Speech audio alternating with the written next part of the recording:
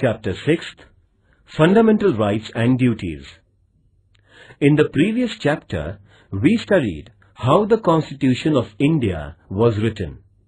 We also studied the main objectives of the Constitution. One way of ensuring that the objectives are achieved is to guarantee fundamental rights to the citizens.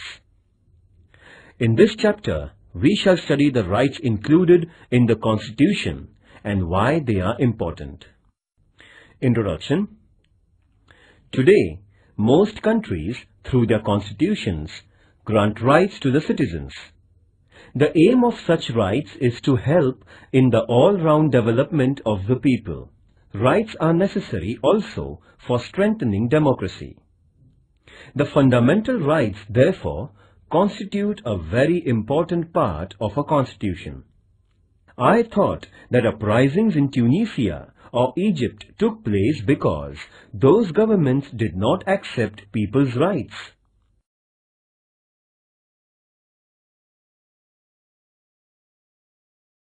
A. What is a right? When we say that a person has a right, we mean that the person can engage in a certain act and that others accept that behavior. Having a right also means that the person can expect specific behavior from other persons and from the government. Thus, rights can come into being only when other members of society and the government accept certain obligations. You must have seen that there is a silence zone near hospitals. This is a regulation local authorities declare that you cannot blow horns while passing through the silence zone. This regulation comes in the backdrop of a socially accepted idea that patients in the hospital need silence and that they are entitled to rest and recuperation in peace. Thus, the patient's claim to rest is accepted by society and then a regulation is made to enforce that claim. Society accepts various such claims mainly when they are seen as reasonable. In other words, rights require in the first place an agreement among members of the society over what are reasonable claims of its members. Then, it also requires legal provisions for ensuring the rights. Such legal provisions include limits on the powers of the government.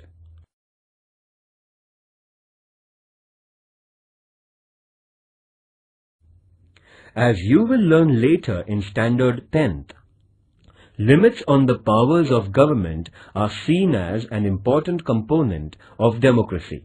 By agreeing to have limits on the government, a society ensures democratic government.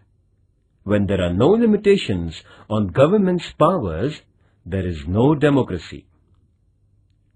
I had heard of this word democracy, but did not know that it was related to rights. Must find out the rights of people in different democracies. When we say that we have freedom of speech, it means that other people around us also have the same right and we all agree that we can freely express our opinions. Then, there must also be legal provisions for protecting the freedom of speech. There must be provision that police or any other government officers cannot unnecessarily restrict our right to express our views. In this sense, rights imply limitations on the powers of the government. By granting rights to citizens, governments agree to limit their powers. Read newspapers of one week. List the new items that are against the government or critical of the government or some leaders. What would happen if the government said that you cannot publish any news that is against the government or cannot publish news items that criticize the government? By allowing publication of news opposed to it, the government accepts certain limitations. This is also known as freedom of the press. This freedom is part of a freedom of speech.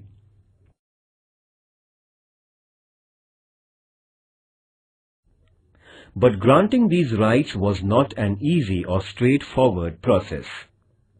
In many countries, people engaged in struggles with their rulers for long periods before they could get their rights. When the Constitution of United States was written in 1787, the idea of rights also existed. But that constitution originally did not mention any rights because makers of that constitution felt that rights are already there and do not need mention in the constitution. But on the demands of citizens, a Bill of Rights was subsequently included in the US Constitution, that is, in 1791. Since that time, it has become customary to include rights in the constitution of a country. The Constitution of India includes a detailed list of rights. These are called fundamental rights. This means that these rights are of fundamental importance. They are so important that the government cannot take away these rights. Long back in 1215, the British monarch had to agree to some restrictions over the monarchical powers. This agreement is famous as the Magna Charta, a charter agreed by the king. Even after this, there were many struggles in England between the people and the monarch. Those struggles resulted into many more limits on the powers of the king or queen. Ultimately, these struggles led to democracy and acceptance of citizens' right. In 1776, the American people declared their independence from England. That declaration is known as the Declaration of Independence in which it was asserted that certain rights of human beings were inalienable, meaning that nobody could take those rights away. Similarly, the French Revolution of 1789 also underlined the importance of rights through the Declaration of Rights of Man and of the Citizens. The French Revolution led to abolition of the monarchy and the rise of democracy in France. In what way rights are related to democracy?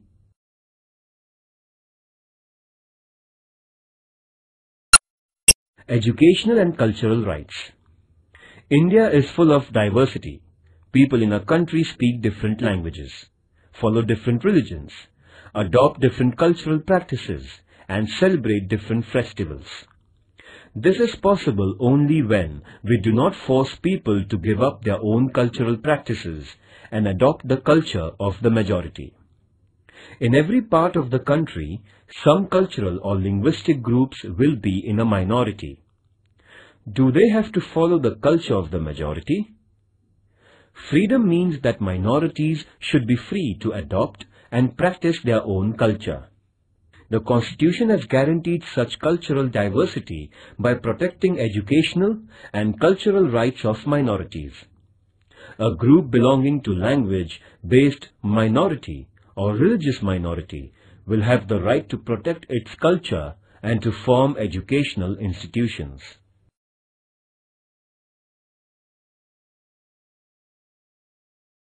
B are fundamental rights mentioned in Indian Constitution.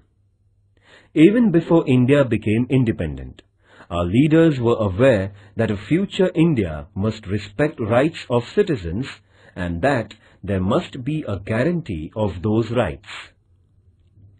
When India was under British rule, Motilal Nehru, who was president of an all-party committee, demanded that the government must adopt a Bill of Rights that is, in 1928. Before Motilal Nehru, Lokmanya Tilak had declared that Swaraj was my birthright.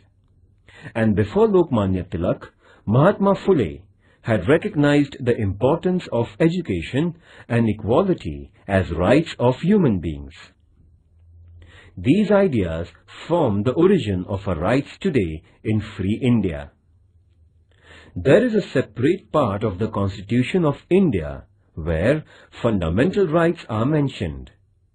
These fundamental rights include liberty, equality, right against exploitation, right to freedom of religion, cultural and educational rights, and right to constitutional remedy.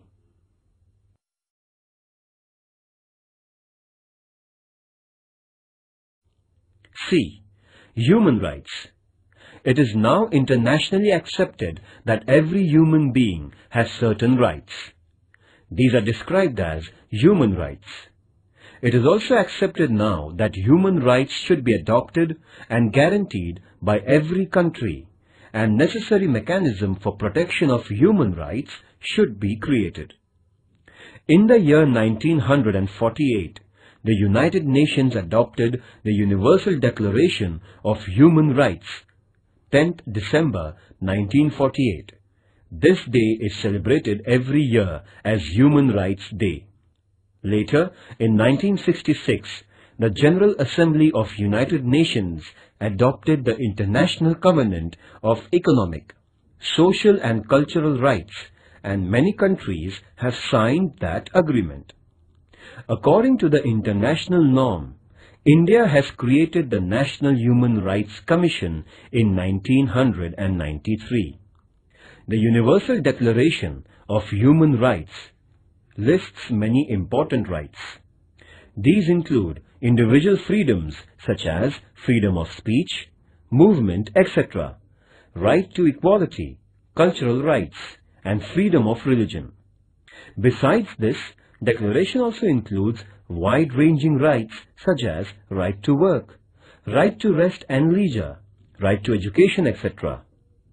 The purpose is to ensure a balanced development of every individual and ensuring equal worth of all persons.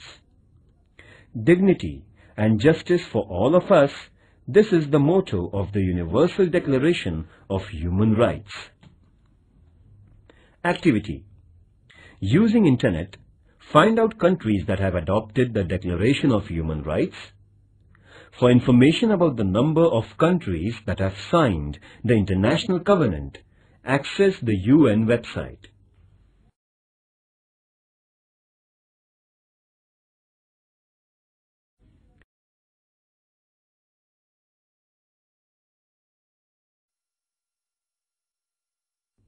Right to equality. Democratic government means that the government is not arbitrary. It works according to rules and regulations. But what if rules were only applied to some people and not to some others? It would still be an arbitrary government. Therefore, there must be the same rules for everyone. This is the principle of equality before laws. Our constitution guarantees that all persons will be treated equally by the government. Equality means that persons will not be treated differently just because of the gender, religion or caste etc. Right to equality also means that everyone will get equal opportunities. Remember that there are many inequalities in our society and to remove those inequalities is the objectives of a constitution. Therefore, it is the responsibility of the government not only to treat all persons equally, but to implement policies that will bring equality in our social relations. You may have heard about reservation of seats in school and college admissions for women or persons of weaker sections. This is an example of government's efforts to bring equality. Right to equality does not mean only equal legal treatment. It also means that groups which are backward and traditionally discriminated against must get the opportunity to develop themselves and become equal in the true sense. Thus, right to equality puts a responsibility on the government to remove injustice and inequality.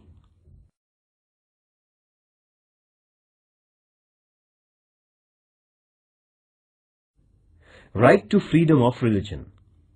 In India, people follow different religious practices. But the government does not support or oppose any religion. every person is free to follow any religion and pray according to her or his religion and also propagate their religion. The government will not differentiate between persons of different religions only on ground of their religion. And because there is no religion, which is the official religion of a country, government or government-aided institutions will not force us to follow any particular religious practice. Government also does not itself preach any religion or give religious education in schools aided by it.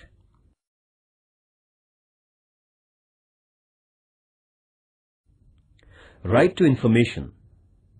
Similarly, the right to information is now enforced, though it is not part of a fundamental rights. Citizens cannot judge the government if they do not have enough information. Therefore, of late, it has been accepted all over the world that democracy means citizens' right to get the information from their government. This is known as the right to information. After the efforts of the senior social activist Anna Hazare and his followers, right to information was passed by the government of India.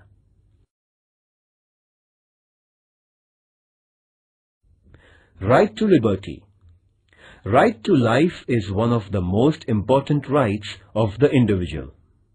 Our constitution guarantees this right.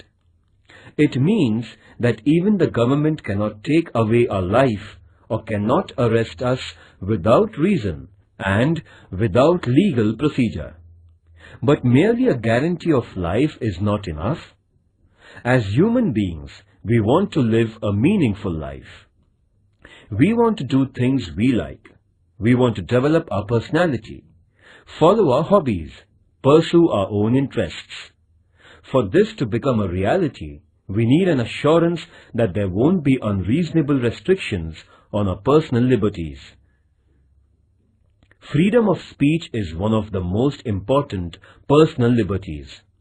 Besides, we have the liberty to form associations and organize meetings. We also have the freedom to move freely in different parts of the country and reside anywhere in the country. And we have the freedom to undertake any profession or business of our liking.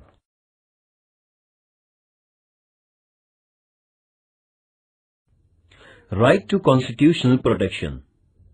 So far we listed the rights guaranteed by the Constitution. But what do we mean by guarantee? If our right is violated, we can go to the government for protection. But what will happen if some officer or the government itself violated or did not respect our rights? In such situation, we have the right to move the courts. This is also called as right to constitutional remedy. Court will decide if the government has wrongly interfered with our rights and if so, ask the government not to do so. Judiciary is the protector of our rights. This provision makes our fundamental rights truly guaranteed. First, what is the importance of right to equality? Second, why is the right to constitutional remedy the most important right? Activity. Imagine we had right to liberty but not the right to equality. What would be the result?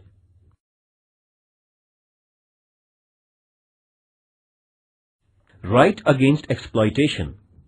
Both liberty and equality will be violated if some people are forced by others to undertake some work against their wishes. Because of poverty, there used to be many people who would take loans from private moneylenders. And the moneylenders would then force them to work without payments until the loan and interest are repaid. This practice was known as forced labor or wait the Constitution has declared such practices as illegal. There will be no slavery in any form and nobody will be treated as a bonded labor. Another fallout of poverty is that children from poor families are required to undertake work and earn money.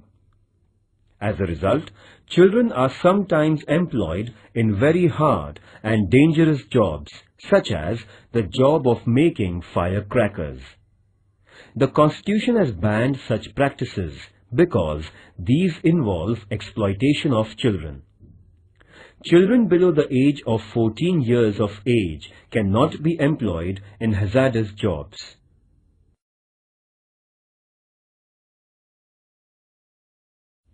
Positive and negative rights. Rights are necessary for our personal development. They are necessary also for the well-being of the society. Rights ensure that weaker and backward sections of society get opportunities to improve their condition. The right to equality is very important in this respect. Thus, some rights are limitations or restrictions on the powers of the government while some rights mandate that the government adopts policies for the well-being of weaker and needy sections. In this sense, rights are responsibility of the government and the society to make sure that various services and facilities reach all sections. So, our rights are twofold. Some rights are restrictions on government, what the government cannot and should not be doing. Let us call them negative rights because they tell us what the government should not do. On the other hand, some rights tell what the government should do. These are positive rights. Right to education, for instance, is a positive right. On the other hand, freedom of speech is a negative right, meaning that it states that government cannot put unreasonable restrictions on a freedom of speech.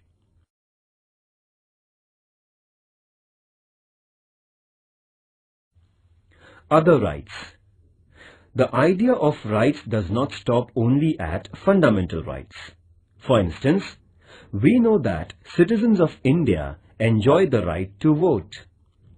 This right is not listed in fundamental rights, but it is part of our constitutional rights. Even after the constitution was written, the scope of our rights has been expanded. For example, we now have the right to education. Under this right, all children between the age of 6 and 14 are entitled to education. Activity Collect the information about right to education. Discuss in your class the importance of right to education.